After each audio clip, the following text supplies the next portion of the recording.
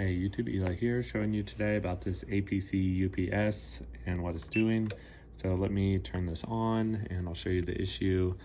Uh, the issue is here that it's not charging and this battery light just flashes continually without um, without charging up at all and so I can't run anything out of the back of it. Uh, let me show you the back, there's nothing plugged into it right now and it is plugged into the wall. So let me unplug it now and then um, show you what happens. So I unplug it and uh, it just turns off and let me try to turn it back on and it won't turn back on. Um, it was turning back on before and I had the I had the battery out and I just put the battery back in um, and now it's not doing that. So I might just um, not have the battery plugged in all the way.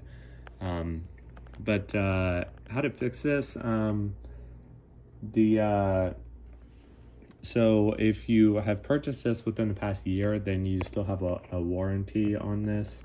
Um, and uh, if you call the customer service phone number, they should be able to um, they should be able to uh, give you a, a replacement if you can provide proof of purchase. So their phone number is 800 555 2725. And uh, if you want to go down that route, if not, um, uh, one thing you can do is uh, check and see if your battery is like cracked or swollen. Um, so let me turn this over and I'll show you how to do that.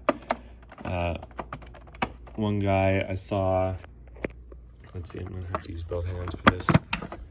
All right, so that slides off like that. Uh, one guy, oh yeah, I had this battery upside down. That's why it was not uh, turning on for me. Um, let me pull this out really quick. So they're pretty heavy. It weighs 11.0 pounds. And uh, so this is battery. And so mine isn't uh, cracked or swollen or anything. And um, so that tells me that um, that that's not the issue. Uh, but um, this unit is five years old. So I bought it in 2018 and it's now 2022. So um, basically the battery just needs replaced and you can buy a new one on Amazon or on eBay. If you purchase the replacement battery through um, APC, then it's $99. But if you buy it on eBay, um, there's some open box on ones on there uh, for about $74.99 or 75 So here's here's my model number, BR1500G. And the replacement battery for this one is this model number.